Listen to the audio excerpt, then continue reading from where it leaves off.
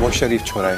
अरे गुन्ना है साड़ा आँखों में चुभता साड़ा अरे सुन लिया इसने। नमस्कार दोस्तों जैसे कि आप लोग शुरू में ही देखे हैं इंट्रो देखकर आप लोग समझे गए होंगे। मतलब हर चीज़ को आपको क्लियरिटी नहीं बताना पड़ेगा कि क्या है दिस है डेड है।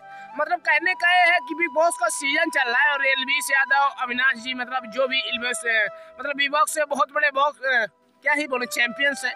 और बिग बॉस में कहीं ना कहीं वो लोग अपने जगह बना चुके हैं। और देश विदेशों में उनका नाम है तो मैं सोचता हूँ कुछ आपको यूनिक दिखाया जाए।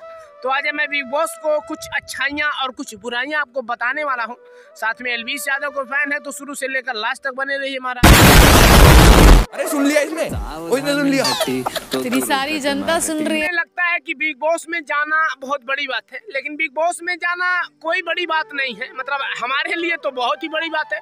ज़मीन आसमान का फ़र्क है ज़मीन नीचे ऊपर आसमान। तो इतना फ़र्क है हमारे लिए।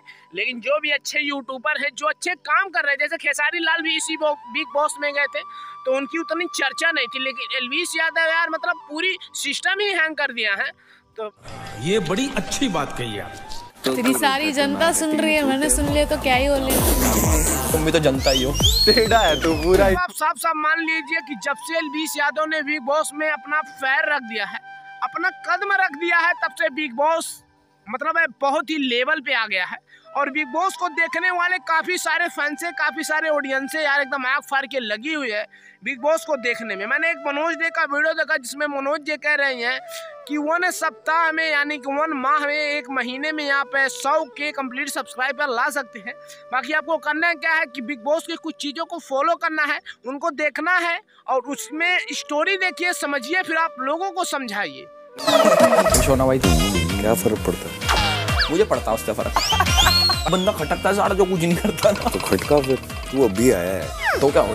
क्या बात कर रहे रे बाबा? जो जो यादव का जो बात है यार मतलब इनका जो बोलने का तरीका है ये मुझे अच्छा लगता है। और इनका जो बोलने का तरीका है सीधे मेरे दिल पे लगा जाता है यार। इनका जो बोलने का तेरे मुड़ी होड़ मतलब क्या ही हरियाणा के हैं पंजाब के हैं कहाँ के हैं?